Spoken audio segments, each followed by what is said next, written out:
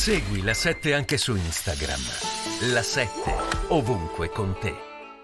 Sondaggio eh, Demos che ci dice Lega eh, nel 2018 Sì. aveva circa 800.000 voti assoluti in più di Fratelli d'Italia che oggi potrebbe averne 400.000 in più. Ehm, ti chiedo. Pregliasco, in funzione di tutti gli studi che state facendo, qual è la notizia che secondo te è la notizia rispetto alla campagna elettorale? No, quello che abbiamo visto era appunto un- una sintesi di un sondaggio di Demos sul Veneto che racconta, credo, Sì, eh, sì. Tiziana, una dinamica comunque importante da osservare, ovvero la crescita di Fratelli d'Italia anche nel centro-nord, cioè là dove siamo stati abituati a considerare la Lega il partito E che egemone. drena voti alla. Lega?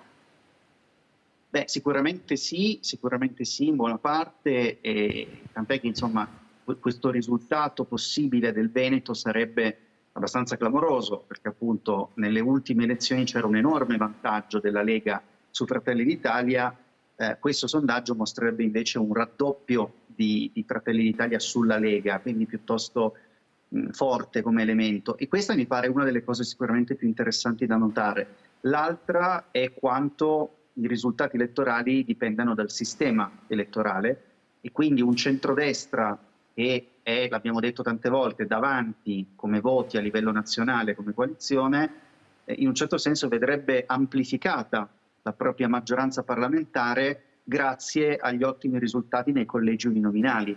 Quindi in un certo senso il Rosatellum e il modo in cui funziona il Rosatellum eh, potrebbe consegnarci un quadro molto più netto di quello che avremmo con un sistema chiaramente proporzionale. Allora, voglio Questa tornare cosa- un attimo sulla questione Veneto, che mi sembra molto interessante Sì. e tra l'altro sta arrivando Brugnaro, che è il sindaco di Venezia, e, e quindi diciamo guardarli anche con lui quei sondaggi sarà interessante. Però prima voglio sentire